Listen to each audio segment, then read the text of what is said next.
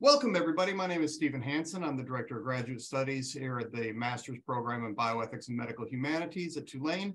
Um, and uh, I would like to welcome you all here today for our Williams lecture, um, which once I share my screen, I will be able to.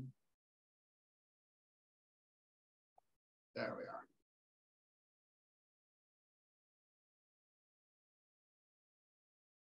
Be able to talk a little bit about. Um, today's lecture is on the Hippocratic Oath in the medical profession from Dr. Thomas Cavanaugh um, from uh, University of San Francisco College of Arts and Sciences. Um, I would be remiss uh, in, in, my duties, though, if I did not uh, talk about the various people who have made this lecture possible. First and foremost, I think we have to talk about um, the Bioethics Interest Group who made the invitation to Dr. Cavanaugh, and we'll hear from them in a little bit. Um, but also quite important, the J.R. Williams Sr. Uh, MD 1931 Endowed Lecture Fund has made this possible as well. This was a fund initiated fairly recently, fall of 2013, um, to support lectures on spirituality and health at Tulane School of Medicine, focusing on the art of creating a compassionate and trusting relationship between patient and doctor. And this is a series that's made as a, a, a, a to honor the legacy of one J. Richard Williams, senior uh, um, uh, MD, uh, who was a Tulane University graduate and was a an internist and oncologist, well known and well loved in Selma, Alabama. The idea of this uh, series and the idea of this endowed fund is that Dr. Williams loved medicine and would do anything for his patient, but he had an interest in the impact of spirituality on health particularly the positive impact of spirituality on the well being and continued health of those who have suffered the loss of a loved one. I, I, I really appreciate how much this focuses on the fact that healthcare is about our patients, but also the ones who love them. As co sponsors, we also have uh, the master's program in bioethics and medical humanities. You can find out about us through tulane.edu slash bioethics. We're also on YouTube. If you go search Tulane Bioethics on YouTube, you can find our, all of our previous Williams lectures, as well as a number of videos that we've put together talking about the program and some other things that are of interest that our programs put out. Uh, so lots of content there uh, as well. Let me tell you a little bit about the, the, the program not much. I will not take up much of your time. Again, that's why the, the link is there, tulane.edu slash bioethics. But we have two tracks. We are a program in bioethics and medical humanities, and all of our graduates get some bioethics and some medical humanities, but you can focus on one or the other.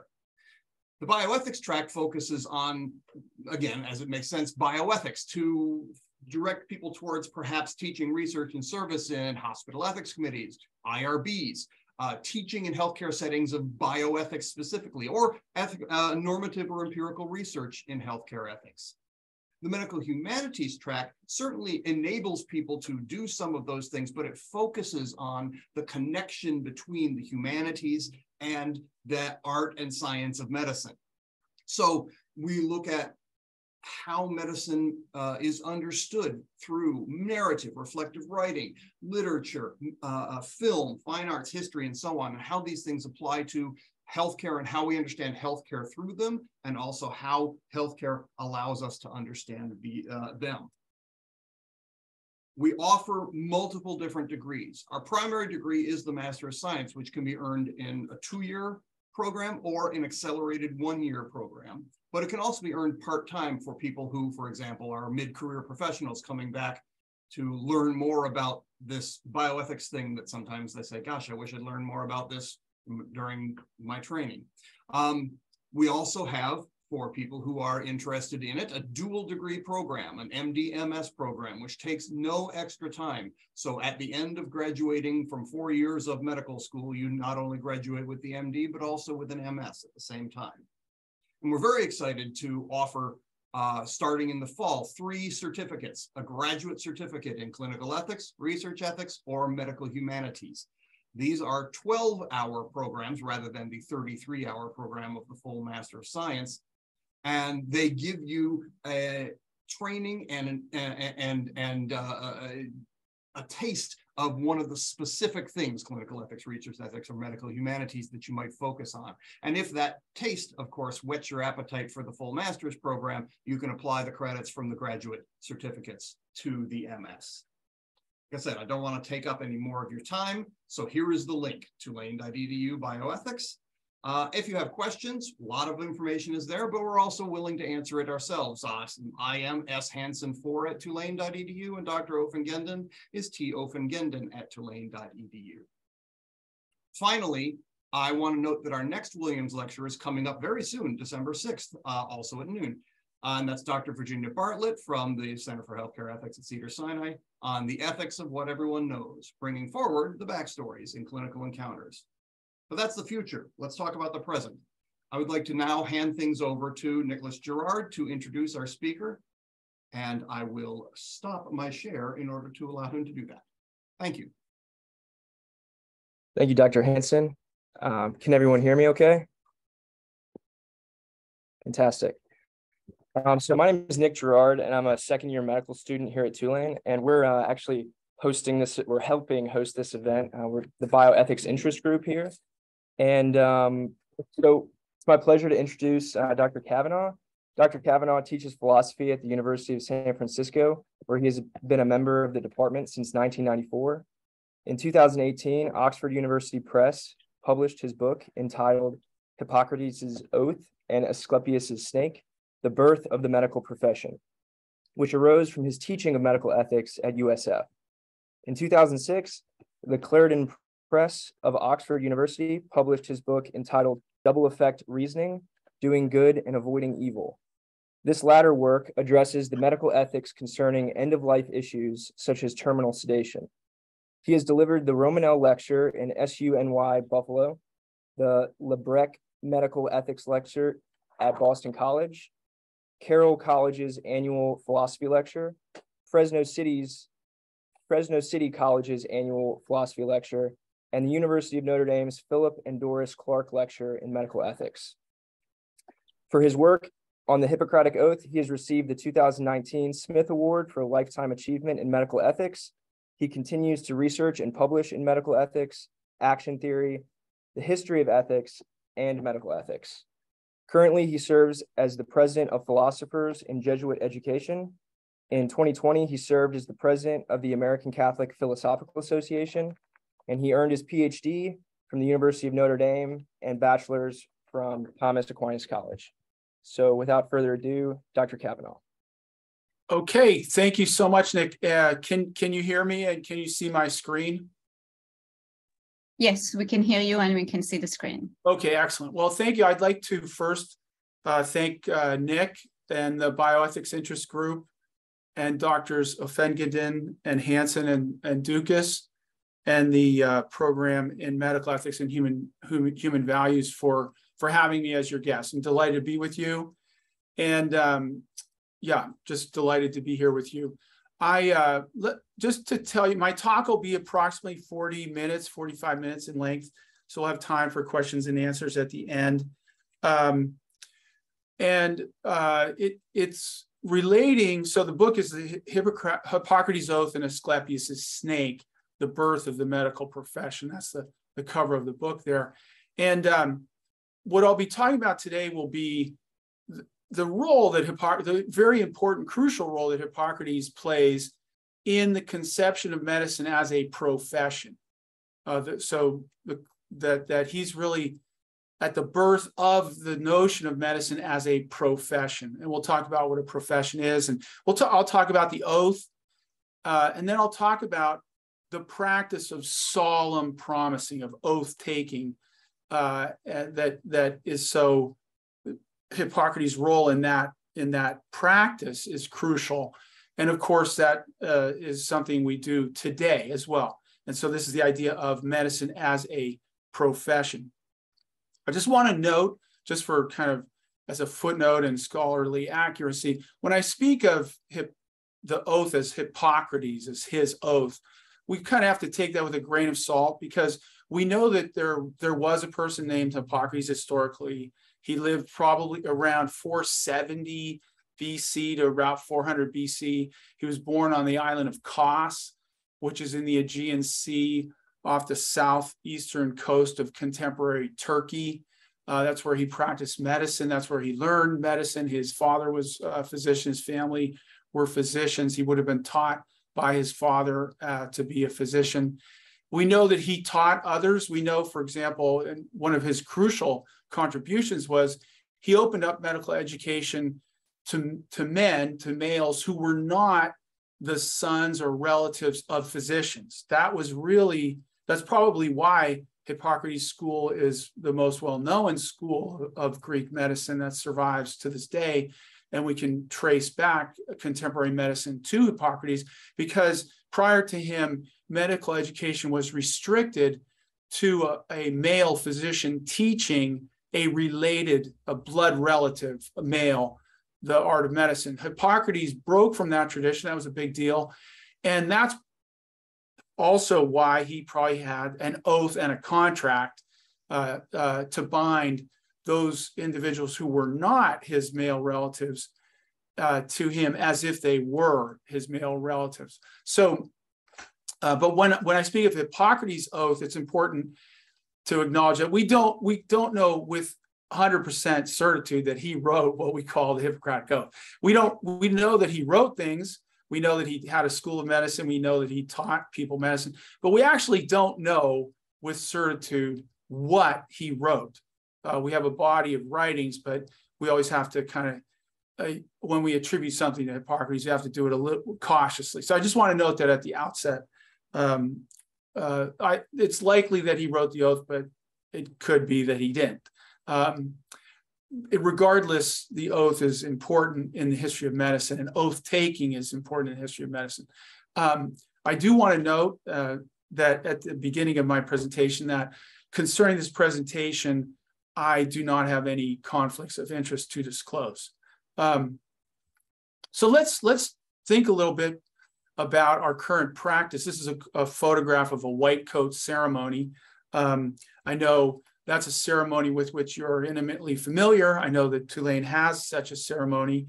And, um, and since 1993 in the United States, it's very common now to have white coat ceremonies at which matriculating uh, students of medical medicine take an oath. An oath that oath might vary, but they will take an oath. And uh, this is a, a, photograph of a white coat ceremony. And um, this taking of an oath, this professing, right, goes back to Hippocrates uh, and to the Hippocratic Oath. It probably goes back even further than that, but but that's the uh, historical origin of which we are aware. Um, and professing, right, we, as these students are doing, we stand in front of others and we tell them that for which we stand. What are we going to do? What are we not going to do? Professing is a Latin word. Uh, pro means in front of. Uh, fessio comes from the Latin fatere to speak. So when we when we make a profession, literally, we uh, this is where the word profession comes from. We stand in front of other people and we tell them, "This is what I stand for.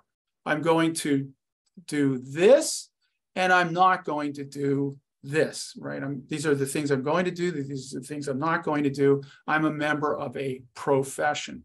Um, and that practice of professing and this concept of medicine as a involving a profession, a promising, uh, goes back to Hippocrates, which is why thinking about the Hippocratic Oath is, is relevant to our own circumstances. Um, I note that, yeah, Columbia University Medical School in 1993, they in, revived the practice and uh, it has spread widely now. I think it'd be fair to say that uh, almost, uh, if not every, almost every medical school in the United States of America uh, has the practice of a white coat ceremony, has the practice of medical oath taking, medical promising. Um, now, and and there you go. Uh, this is a um, this is the uh, oath that was taken at um, Tulane Medical School for the class of 2025. It's, uh, won't go into all the particulars of the Hippocratic Oath. Uh, there's a lot to talk about. The oath has an element of a contract as well as an oath uh, in it. And, uh, but at the begins very similarly. Here we have the Tulane students solemnly swearing before all that is holy and sacred, right? Um, in the Hippocratic Oath, the, the juror, the person who took the oath, swore to all the gods and goddesses. That was, it's actually one of the few that includes this, uh, all of the gods and goddesses, reflecting how, how solemn that particular oath was. Um, the Tulane Oath speaks about teachers and respect and gratitude towards teachers.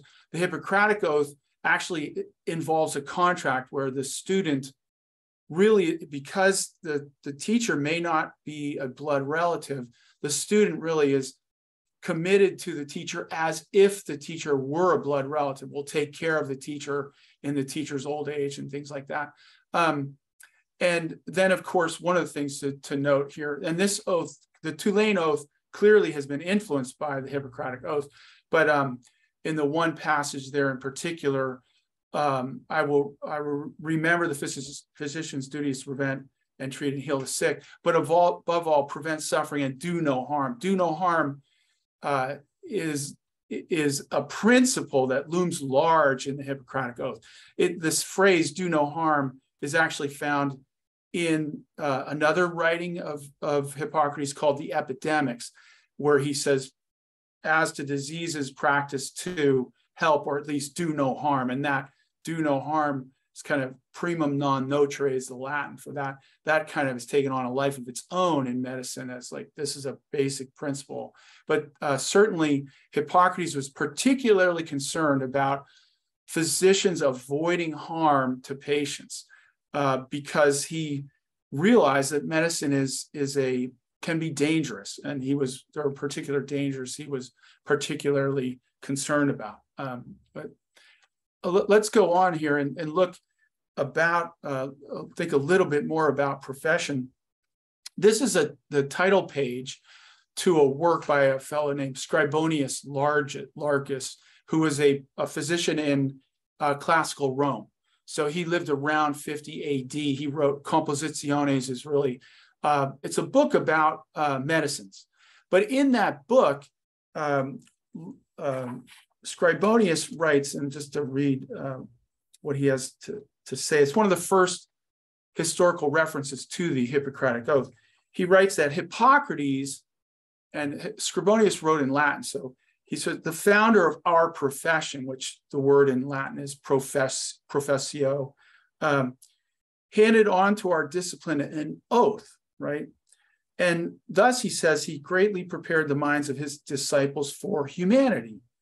Um, the conservation of the name and honor of medicine with a holy and devoted heart has been greatly valued by everyone who has acted according to Hippocrates' credo. And then he quotes what he understands that creator to be. For medicine is a science, science of healing, not of harming, right? We're, we're going to help, not harm. And we have here, this is actually in the etymology of the word profession. Uh, one of the first uses of that word uh, is found in its reference to medicine as a profession. So actually, if you if you look at the history of the the idea of a profession.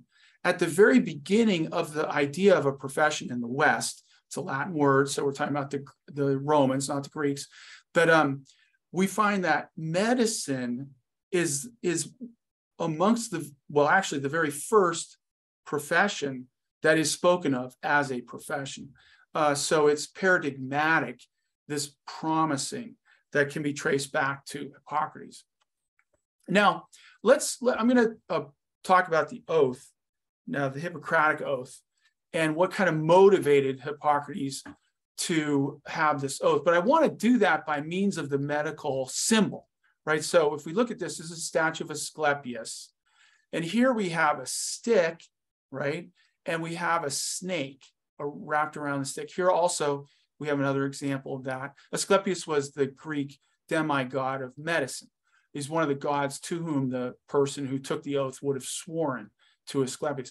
Here we have, again, a stick with a snake wrapped around it. Now, if we were in um, a Zoom session and uh, I asked you to go into little breakout rooms and uh, come up with a symbol for medicine, and I um, you were in groups of five or six or whatever, and one of your fellow uh, classmates or attendees said, "Well, I'd, I think we should have a snake as a symbol of medicine." I'm pretty sure that that um, that suggestion would not get, get many much uh, grip on your group, right? I don't think I don't think that if you were asked to come up with a symbol of medicine, that the idea of a snake being a symbol of medicine would actually get much um, much engagement from your fellow fellows who were given that task. And yet there it is. There that is the symbol of medicine. I'm sure today, if you're at a medical school or if you're in a medical office, you'll probably see us uh, that symbol today. You'll see it somewhere. You'll see it on drugs. You'll see it on a building. You'll see it on someone's card or something. Uh, so, but it's very curious. Why is a snake affiliated with medicine? And that's uh, what my suggestion is. The snake is affiliated with medicine in part because snakes wound, and the ancient Greeks were aware of this idea that wounding and healing are intimately related, and there and Hippocrates was, was concerned about healers wounding. Uh, and I'll tell a story I hope that illustrates that. But uh, why is there a walking stick first? Maybe we could talk about that's a little uh, easier to get at. The reason there's a walking stick, and this is a walking stick, is because ancient Greek physicians were what, what they would have called themselves epidemiological. Uh, that word means literally they went epi around the deme from one village. Deme means village to another. They walked, they were itinerant. They would go from one village to another. And that's why they had a walking stick to symbolize uh, the physician. That's why that's what we're looking at a walking stick. But of course, we have the question: Why do we have a snake, though? Why do we have a snake? Um, now, one take home uh, for you today is is uh, if you if someone asks, well, what did you learn today? One of the things hopefully you learned today is that the symbol of medicine is one snake, not two snakes. One snake, not two. This before you, this is called the caduceus. This is actually the wand of Hermes or Mercury, who is the messenger of the gods. This particular symbol uh, in the 1700s occurred, it was found on medical textbooks in the United States, um, and it was confused with the symbol of medicine. People were aware, well, the symbol of medicine has a snake, some snakes associated with it. Um, but the reason it was confused with the symbol of medicine was because publishers use this symbol as a symbol of their profession of spreading a message, educating people. And they put it on all their textbooks. But when it was on found on medical textbooks, especially in the United States, people thought, oh, that's the medical symbol. Actually, it wasn't the medical symbol, it's the symbol of Hermes or Mercury. But it, even to this day, you'll find this symbol on all sorts of medical literature, uh, ambulances. Um, you'll find it, uh, for example, the US Army Medical Corps still uses this as their symbol. This is not the historically accurate symbol of medicine. So there's a little bonus, if you will, little medical trivia uh, you can walk away with today that, that uh, this, the medical symbol, right, is one snake around uh, uh a walking stick, not two. Okay, but why is there a snake? uh, why have a snake at all? Well, let's let's think of a couple reasons that medical historians offer, and I'm going to focus on the role of the snake as a wounder. But before we go to that, um, there are certain phenomena. Snakes, for example, if you've ever seen a snake, uh, uh, skin, if you've gone out for a hike or anything like that, and you've come across a snake, skin, a snake who's molted, right? You'll find that inverted sock the the uh, the skin of the snake in, in, its entirety. Sometimes you'll encounter it on a, a path, and um, of course that suggests when snakes molt, maybe they could kind of heal themselves. Perhaps they would be a source of healing. They've shedded their skin, they have new grown new skin, so perhaps that's one reason why they become affiliated with uh, as a symbol of medicine. Another reason is uh, that historians, medical historians, fasten upon is that snakes are chthonic. That's a Greek word meaning they're always associated with the earth. Uh, so they would know the earth, would they would know its healing properties, perhaps. They would know uh, medicines. And so that is another reason why perhaps they become affiliated with medicine as a symbol of medicine. Another reason, which is kind of interesting, curious reason, some uh, medical historians have proposed, is uh, an actual disease, uh, Dracunculus medinensis, which means the little dragons of Medina. Medina is a city in the Arabian Peninsula where this disease, which is also called guinea worm disease, uh, guinea worm is a parasite, um, is indigenous to that area. And uh, what happens is, as you can see on the left of the slide there, the uh, victim ingests content water that's been contaminated with the guinea worm larvae. The larvae hatch in the uh, in the uh, digestive system of the victim, and then the parasite, the worm, will go to the extremities and exit, usually in the in the in the legs or the feet. Um, and you can see that there on the right hand side. That's happening now. Uh, we we now we have drugs to treat guinea worm disease, but even to this day, people will will try to um, get the worm out with a little stick. You can see there on the left side. They'll they'll get the worm to wrap itself around a stick uh, in the hopes of, of of of removing it from the victim's body. Um, and medical historians suggest, well, perhaps in the Arabian Peninsula, right, um, right across from Greece, there you have perhaps medical practitioners symbolize their their practice by having a little uh, a stick with a little worm wrapped around it, and that perhaps became kind of a symbol of medicine. Um, as the Italians say, se non è vero, è bene trovato. That is, if it's not true, at least makes for a good story.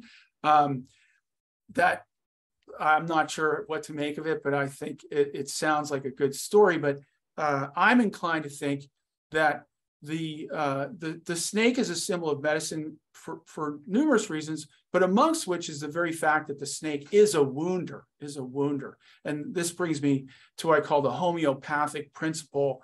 Um, and this is something that Hippocrates will be concerned about. Okay. So homeopathy, of course, like so many um, words uh, in medicine, it's a Greek word. Homeo means similar and pathos means disease. So homeopathic remedies are remedies that are similar, they're somehow cause something similar uh, to the disease, right? So they're, they're, they're similar to the disease, right? Homeopathic. And the Greeks were aware of the principle of homeopathy, try cure like with like. So if someone's hot, give them something hot. If someone's cold, give them someone cold. This this idea of like cures like. Um, they were aware of that. They spoke about it, the the, the homeopathic approach to healing. And one, uh, of course, more uh, uh, example of homeopathy with which we're much more familiar would be the idea of vaccination, right? So this little um, image and this painting in front of you is illustrating Jenner's right um, use of vaccination. She came up with the word vaccination. Vaca is a Latin word for cow. And what he realized was that, and other people did as well, but he probably was the first really to publish about it, really is why he's associated with vaccination. And he came up with the name vaccination. Um, he was a physician in the in the early 1700s, mid 1700s. Um, he realized that um, milkmaids, right? So here we have a milkmaid. A milkmaids would get cowpox, uh, which is a mild disease, and cowpox conferred immunity to smallpox, which was a virulent, dangerous, lethal disease. So Jenner uh, inoculated people with cowpox in the hope of conferring immunity to smallpox, which in fact it did, and and and he was successful in that in that enterprise. Um, and that's an instance of homeopathy. Homeopathy, where like cures like, right? And the Greeks, not necessarily aware of vaccination, but they were certainly aware of this principle as a medical principle. Now, for the Greeks, the way they uh, spoke about homeopathy, they had a little uh, pithy saying. And the pithy saying was, the wounder heals. You can see that's homeopathic, right? Wounder heals. The thing that causes disease will heal disease, right? So, uh, and that was a saying in their culture, the actual Wounder heals was a saying, a very famous saying in their culture. The ancient Greeks loved paradox. They were in love with paradox.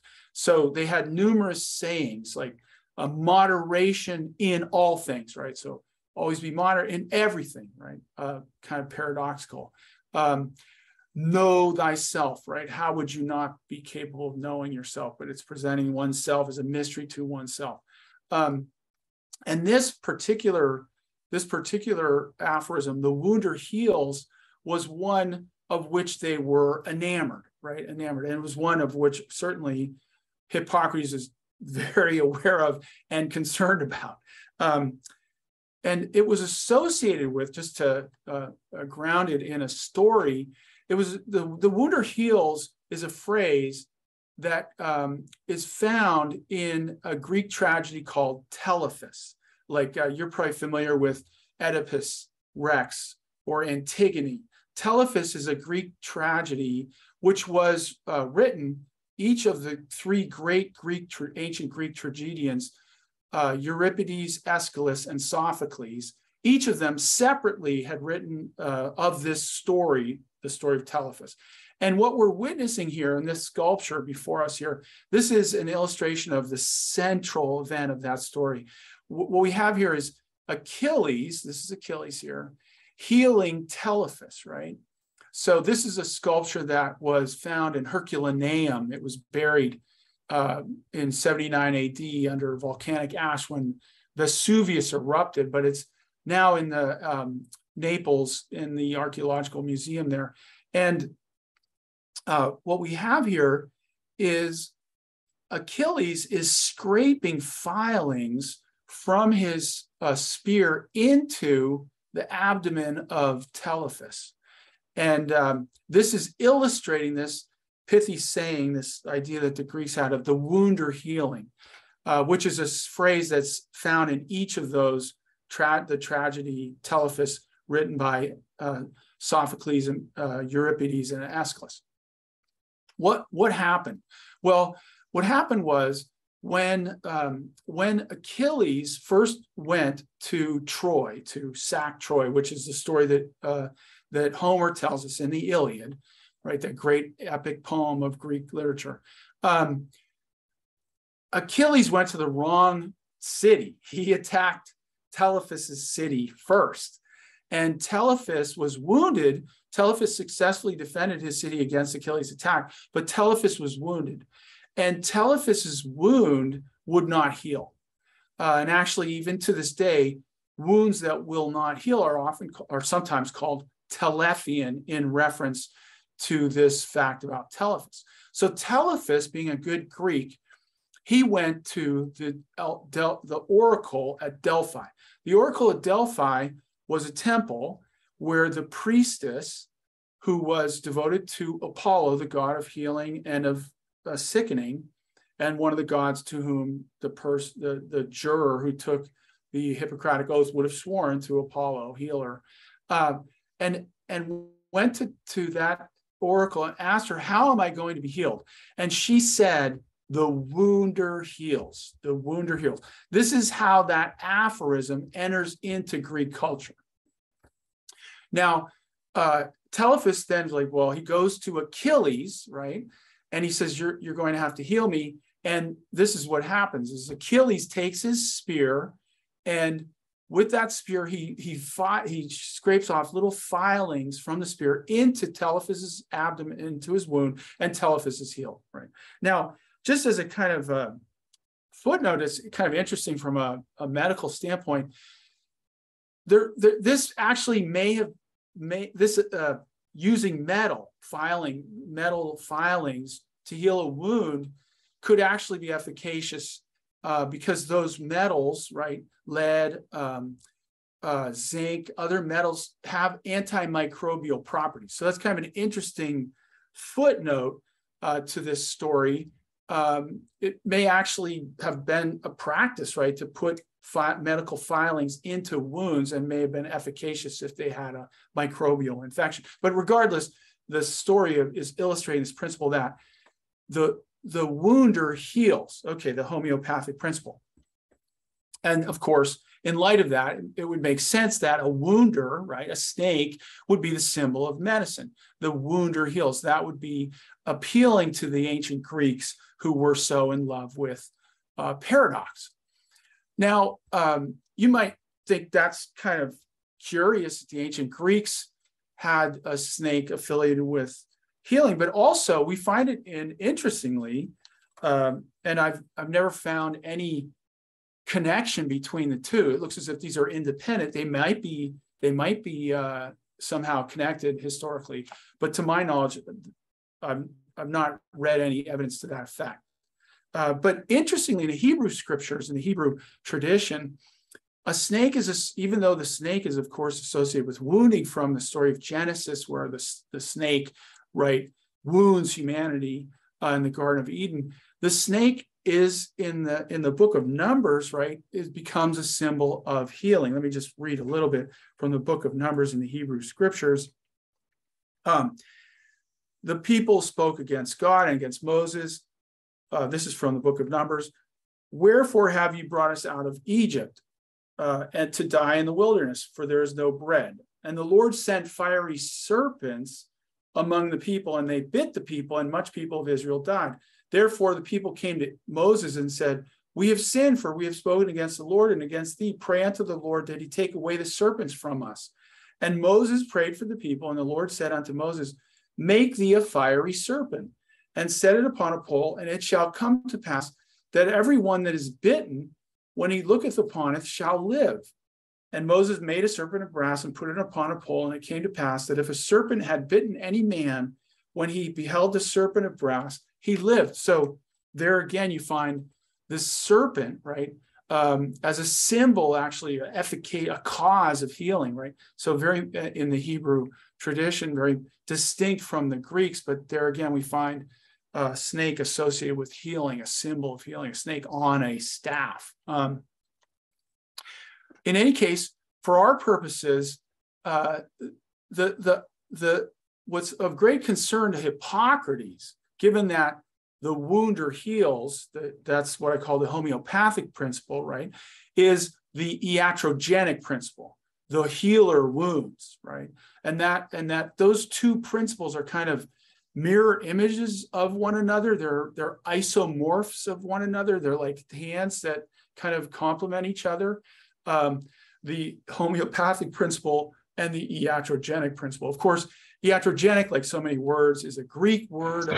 So many medical words is a Greek word. Iatros is the Greek word for physician, and genos is the word for cause, right? So, an iatro, as you know, an iatrogenic, uh, iatrogenic uh, disease is a disease that's been caused by a physician or a wound that's been caused by a physician.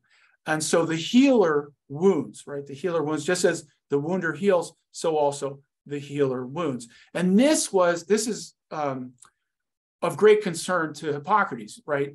First, do no harm. As to diseases, practice two, help, or at least do no harm. And we find that in the oath, right? He's very, he says, regimens I will use for the benefit of the sick, but what, uh, according to my ability and judgment, but what uh, is harmful and unjust, I will keep away from the sick. And then he says, a deadly drug I will not give, even if I am asked, nor will I suggest this, right? So uh, harms loom large in his mind as something we've got to avoid because we know that the healer, just as the wounder heals, so also the healer wounds.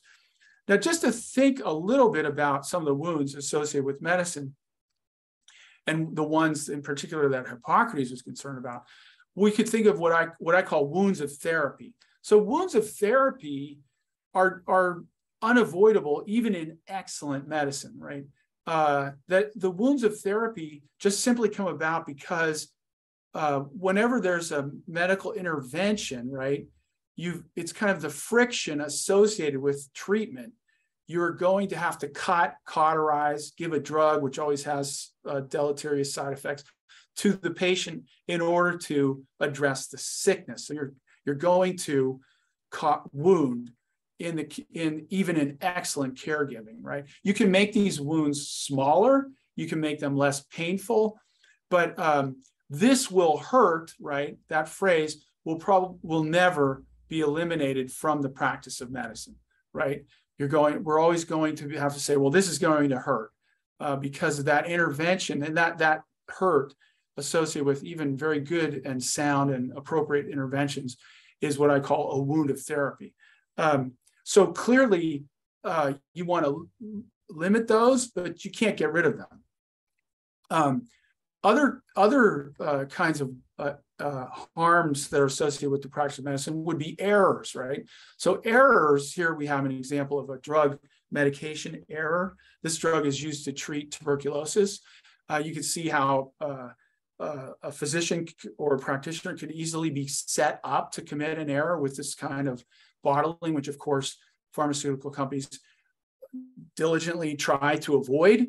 But uh, this this example um, is an actual historical example of a medical error where the the uh, bottle on the left contains right 30 capsules of 150 milligrams of the drug. The bottle on the right 30 capsules of 300 uh, milligrams of the same drug uh, of course you could see any any of us any person normal person would easily confuse these two even though the one is uh, dose in a 300 milligram, of course, twice as much. My understanding is that um, when this drug has been given in, in inappropriate doses, uh, it, ca- it, causes like um, the patient to turn bright red, you know, for example. So fortunately, it isn't that harmful, but you can definitely see how errors occur. Now, errors, right, are avoidable, and therefore they're not really wounds of therapy, but they are the we kind of learn what errors we we make, right? This would be an example where a person learns, oh, we need to change the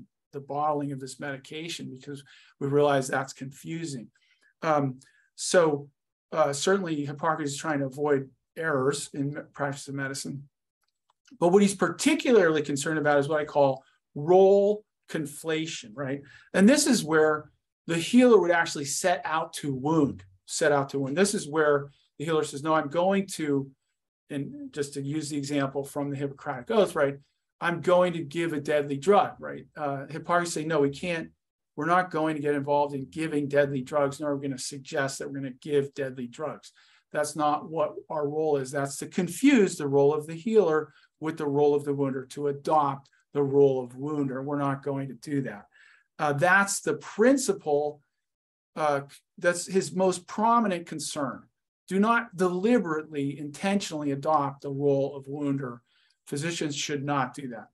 Um, and uh, he, he, again, th- this is a quote from the um, from the epidemics uh, in the Greek. Uh, what we have here is where he says, uh, as to diseases, uh, nos, nosemata, that's the Greek word for disease, duo, practice too. Askine is the word meaning really to develop finesse, right? So and really practice. That is, that's he's really thinking about practice making perfect, uh, and that's what that word connotes. So he's saying, become adept uh, as as it concerns diseases. Com- become adept concerning two things: help or at least don't harm. Do not harm. Um, one of the great uh, fans, if you will, of, in the history of medicine of um, of Hippocrates is the ancient, uh, uh, the classical Roman physician Galen, who uh, wrote extensively on Hippocrates. And Galen was uh, the he was a Roman physician in classical Rome. He was a, a physician to the gladiators as well as to the emperor Marcus Aurelius in uh, Rome. And he lived from about 129 to about 210 AD. But he adds to this statement from the epidemics. So this statement of Hippocrates, do no harm, is from the epidemics. Um, Galen said, you know, here, here's what he says For those who learn the art, I know that as it was for me, the maxim, be useful or do no harm. This is what he's, this one I mentioned to you from epidemics seems not to be worthy to have been written by Hippocrates. Galen's saying it's so simple, why would he even mention it? But then he goes on, but for those who subsequently practice medicine, I know very well that the force of the phrase will be clear.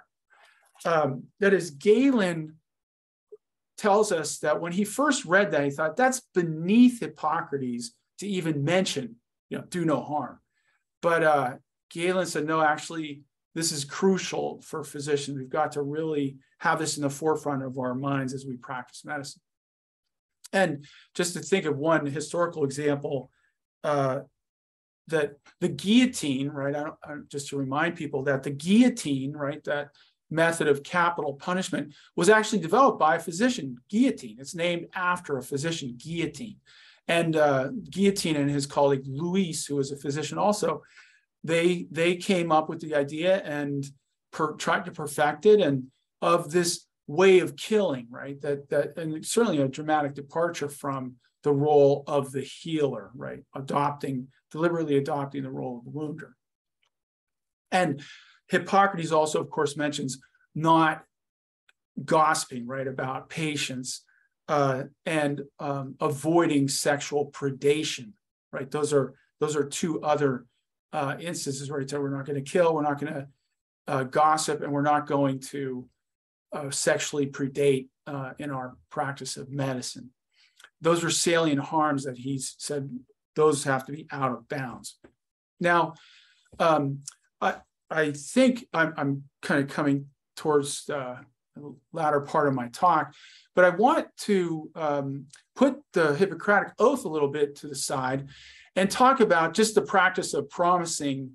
Why does it make sense for physicians to promise? Why does it make sense for physicians to take a solemn promise? Why does it make sense to have the white coat ceremony? I mean, is it just simply a gesture to this past uh, history that we find with Hippocrates? I don't think it is. I think, in fact, Hippocrates had great reasons for having the oath taking, and we do as well.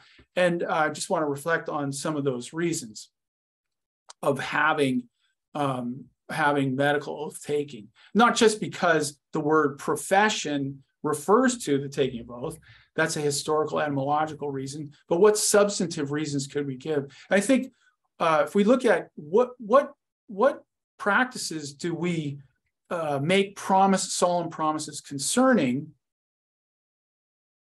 we'll see that they are weighty substantive practices like getting married where we're going to start a family right new, the transmitting new life to the next generation we take solemn promises matrimonial vows or concerning the law, justice. We take matrimonial, we take vows of office concerning enforcement of the law. Justice is an important uh, phenomenon, important good that we have to protect with taking of a vow, right? Um, and similarly, uh, religious vows, right? People who go into religious life take vows. So also medicine deals with matters of great significance, deals with our with life and with death, deals with our mortality, deals with our being subject to wounds, to vulnerability. And so it makes sense that the practitioners of that uh, practice would take a solemn vow because it's a serious matter with which they deal. Um, so there's a reason for having medical promising there. Also, um, not only you could say that, well, medicine deals with things that are not frivolous, right? Deals with substantive matters, but also the taking of a solemn vow is indicates that we're undertaking this practice in a serious manner. We're doing it deliberately. We're not doing it in a cavalier matter or manner or in a frivolous manner. That is, we're doing it deliberately. We're taking a vow as we embark upon this practice of, of medicine, which is a weighty and substantive thing to involve oneself in. Um, also, another reason for medicine having, um, uh, um, just want to watch the clock a little bit here. Yeah, I think we're, okay, yeah, we're doing okay. Medicine having vows. Uh, students are promising, note that making a promise actually helps us to do what we promise to do, interestingly. That is actually may, may, having made a promise motivates us to keep the promise. And so, given medicine is a hard, is a difficult uh, practice to do well, right? Making a promise makes sense because making the promise might actually help us, help those who make the promise, do this difficult task of being a physician.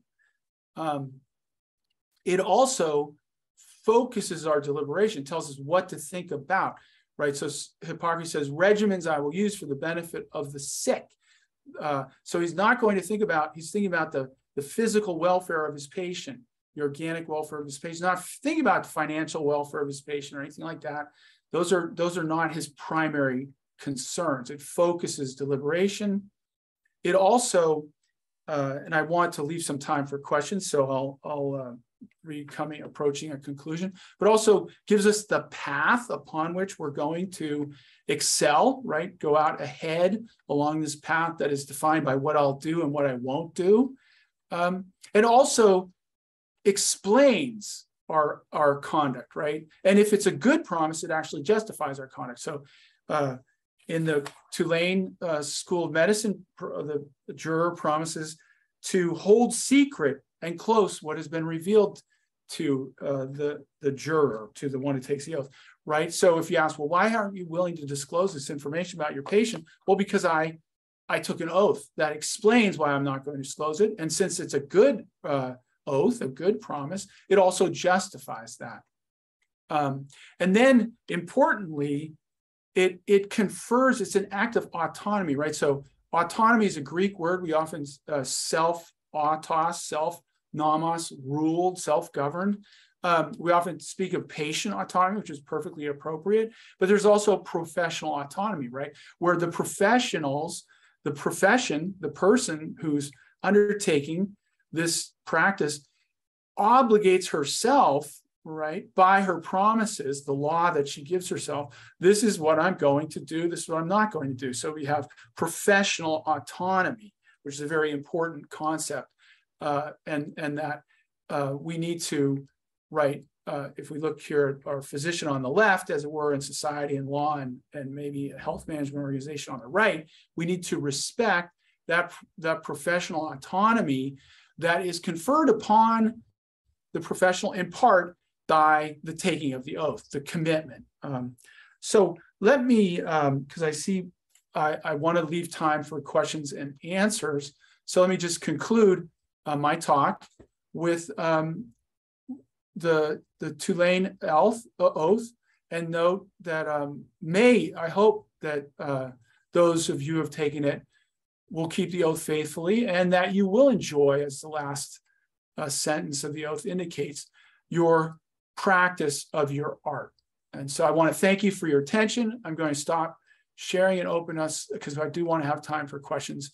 And uh, thank you so much for your attention and uh, for the opportunity to be here with you today. And I, sorry, I see we've got a few, few I wish I had left a few more minutes for uh, uh questions, but uh, we do have some time. Dr. Cavanaugh, thank you again for your talk. Um, we do have a question here from uh, someone here in the classroom. Sorry, Excellent. I'm Kent Van Donge, a medical student here. Um, I had a quick question. You talked about like uh, homeopathy or homeopathy. Um, could the do no harm part of Hippocratic Oath be kind of his um, kind of refusal to homeopathy? Be like kind of his way of saying that uh, wounders sh- or healer shouldn't wound. The homeopathy isn't the best practice of medicine. Has that ever come up in any mm-hmm. literature? Well, I mean, Hippocrates uh, apparent they embraced was willing to use cures that were like the disease. So he he certainly wouldn't have been aware of something like vaccination, but um, but he was certainly aware of the fact that even excellent medicine involves harm, some uh, injuring, if you will, or some wounding, if you could speak of it that way. That's why I talk about those therapeutic wounds. He's certainly, and that was because he was so aware of it right? He was like, look, medicine is a dangerous intervention. It's always fraught with uh, danger. So let us be aware of that as we attempt to help. Let us always be aware that we do not want to harm, and what we and we definitely don't want to intentionally harm deliberately. We don't want to adopt the role of wounder. I don't think he would think that homeopathy necess- the way I'm using that necessarily adopts the role of wounder. I mean, if you think of like a vaccination, inoculation as an example, um, you are, in some sense, you are spreading a disease, right?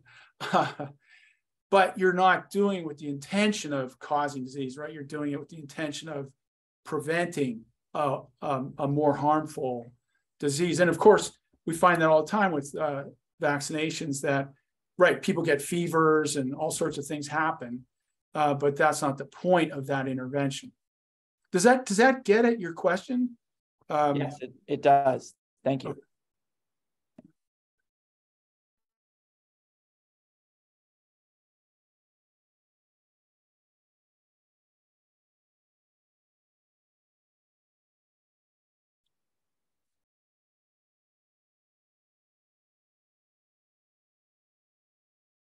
I don't know if there were, there any um, in the chat. Were there questions or or? I'm well, not sure. Yes.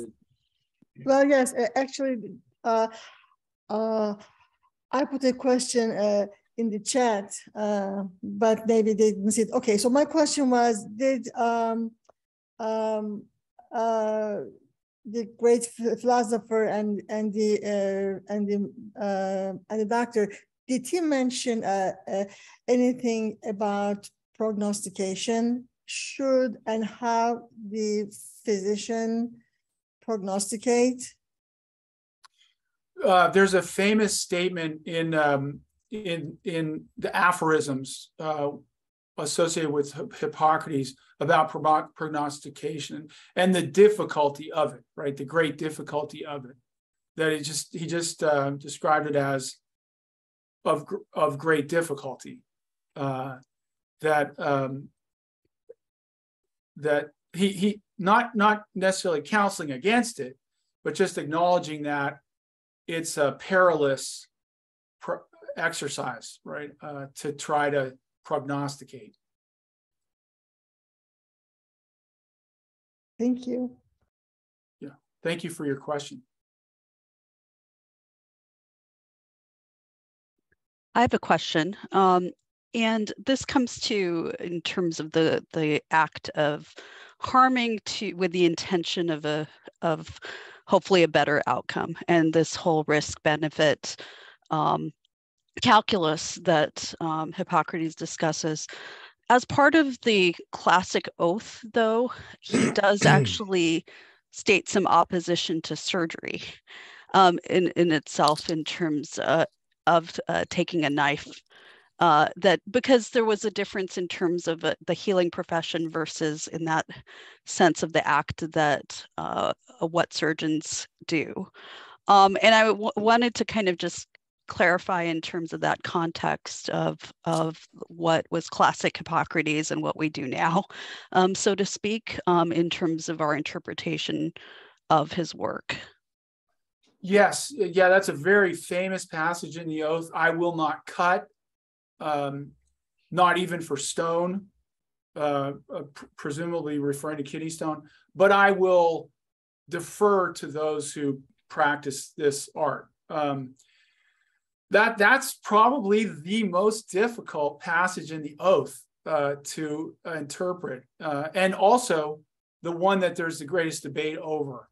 Um, my own and and um, my own sense is that so surgery uh, was um, definitely part of Hippocratic medicine and part of Greek medicine, and so um, in, in fact, in Greek mythology, Chiron, which which his name means hand, uh, is the one who taught the uh, Asclepius medicine. So Chiron was a surgeon. Chiron is the person, the, the individual who taught the Greeks medicine. So to see that surgery is ruled out uh, is very jarring, and um, and uh, the the interpretation I favor is that that that is is an old that is something that's been put into the oath by someone years down the road, and it looks even if uh, in the Greek it looks like it's a little bit different uh, dialect uh, from from the the rest of the text. However, that is you're absolutely correct uh, that that is in the oath, um, and uh, in the best manuscripts that we have, it's found in the oath. Although it's very very difficult to reconcile with with what we confidently know about Greek and Hippocratic medicine that the ancient Greeks did uh, practice surgery. So what's going on there is very, very difficult to interpret. And I, I, uh, my, uh, I'm not entirely satisfied with the answer that I've given, but I think it's the best one that I've come across yet, which is this idea that, uh, which some scholars uh, agree with me on that. That is just, uh, it's a, it's a later, it's a later interpolation in the text. Someone's introduced that into the text. Yeah, I was always curious of that piece of the because until really the 17th 1800s there was also the medieval barber surgeons versus the physicians who are more from uh, uh, you know a more a clergy type uh, um, mm-hmm. level um, mm-hmm. rather than um, a guild level and so i was curious if that had any um, standing in the Greek society as well in terms of the distinction of surgeons and and if we other practitioners. At, yeah, no, no, no. It, it, even in the uh, Iliad, in the, Homer's Iliad, we have a surgeon, right? So we have two physicians, one of whom is a surgeon. Um, so and there's no uh, no apparent uh, um, dr- dramatic um, division between them. And again, Chiron is this mythological figure. Chiron is the Greek word from which we actually get our word surgeon. Surgeon uh, is it means using one's hands, and that's where chiron, chir, right, is the Greek word for hand. So chirurgeon, chirurgeon is where we get our word for surgeon in English, actually etymologically. Um, and so, yes, sur- surgeons are at the very at the very epicenter of Greek medicine. There's a, an important question that was asked in the chat that uh, uh, I think several of us would like your take on. Uh, the question goes, is from uh, Laura Madigan McCown. Those who practice physician assisted suicide claim to be helping their patients through hastening death. How does this square with do no harm? Well, I'm inclined. I mean, I'm a, I'm a, I'm, I'm a fan of the Hippocratic Oath. So, um, you know, obviously, I've written a book on the oath, and I'm very sympathetic to Hippocrates, um, to his "I will not give a deadly drug, nor will I suggest this uh, this counsel." Um, so, I, I, I do think that that's. Um, I don't regard it as therapeutic. I know that people do, certainly. I think they do that sincerely, believe that. But I might, I just, I don't think it's a therapeutic act. And I think it's a boundary for physicians um, that that uh, giving deadly drugs is a boundary for physicians.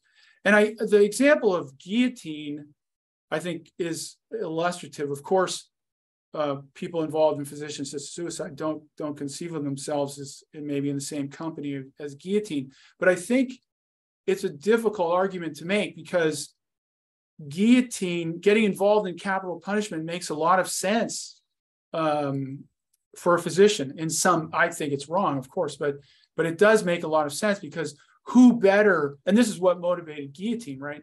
He's like, well, look, I can kill people much more humanely than the than the executioner. So let me do this. Let me do this. I'll show you how it's done, and I'll show you how to do it well. And of course, his method is uh, better than what was available for the condemned at the time that he was uh, he offered it. But I think again that that that was a boundary that he crossed. That that that physicians should not cross. That's a boundary in the therapeutic practice of medicine where physicians are committed only to therapeutic acts. And I don't think killing is a therapeutic act because the subject has to uh, has to be present to be the beneficiary of the therapeutic act. If the if the act uh, destroys the subject, it, it can't be considered therapeutic because the subject is not there to receive the benefit. Um, so I think killing is just not therapeutic. May I have a question uh, about the etymology of Hippocrates, his name? His name. Mhm. Yes, because that basically means horsepower. And Horse. Chi- Yes. Horsepower. And Chiron himself was a centaur.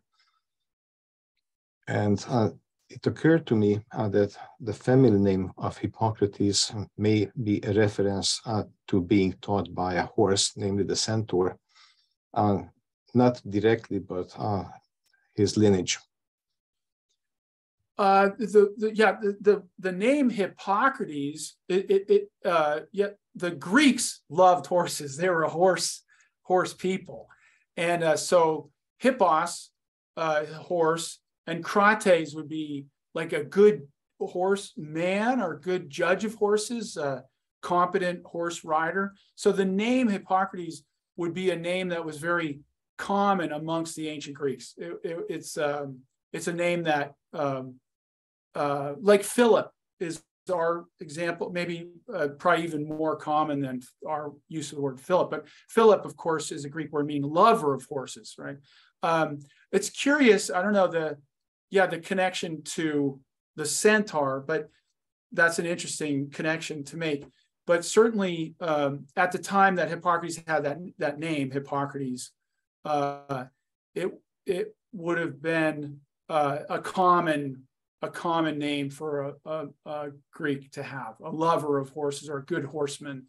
Um, and and um, yeah, that that's that's the source of that name, I think, for him personally. But he be, he began he belonged to the Asclepiads, which is a clan. So he'd be Hippocrates the Asclepiad, and from the island of Kos. So so, uh, and that clan, of course, was the clan one of the clans that um, taught its members medicine.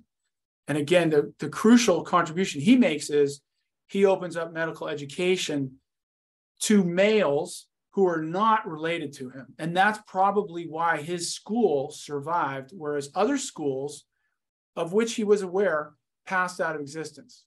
There was a school on the island of Cnidus, which passed out, a medical school, uh, which passed out of existence because there weren't enough uh, students to pass on the tradition, to whom one would pass on the tradition. And Sar- uh, Hippocrates was aware of this and so he opened up the practice of medicine to males who were not related to him. And that's probably why we have his writings and we know about him because uh, his tradition survived, whereas others passed out of existence. Um, unfortunately, we will have to end the session now because Okay, late. Um, and we have another meeting. So I would like to thank you very, very much to Dr. Cavanaugh, sorry, Cavanaugh and Nick for organizing it. And if you have more questions, you're welcome to write to me. And if you're willing to give your email, we can provide that. To oh, I'd be delighted to. Absolutely. Yes, certainly. Please. Thank you very, very much, sir. Thanks. thank you for for your attention. Thank you very much. Thank you very much. Bye bye. Okay. Thank Bye. you. Bye. Bye.